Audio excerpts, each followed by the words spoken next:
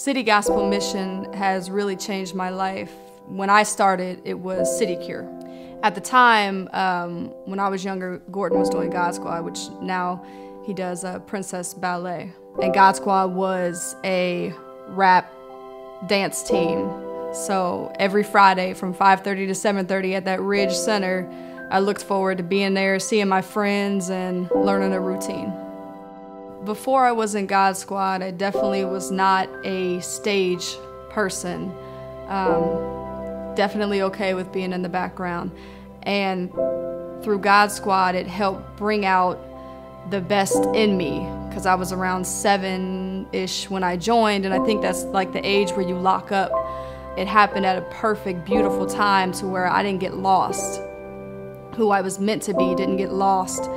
Um, to be pulled out years and years later, it got pulled out right then and right there at the perfect time.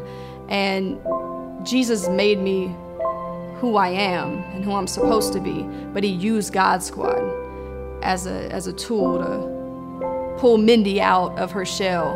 And where I am now after the God Squad, I I have a, a beautiful family. I'm married. Um, I have two sons, a beautiful home. I'm a teacher. I'm actually a math and science certified teacher. Um, I teach dance to kids. I teach aerobics. I believe that the Lord really used City Gospel Mission to change the trajectory of my life because if you're on a path to having no confidence, then you're on a path to having no self-worth. Now that I I know that I'm worth something, I'm more likely to go out here and be successful. And I really thank City Gospel Mission for taking the time to invest in me so that um, I can have what I have now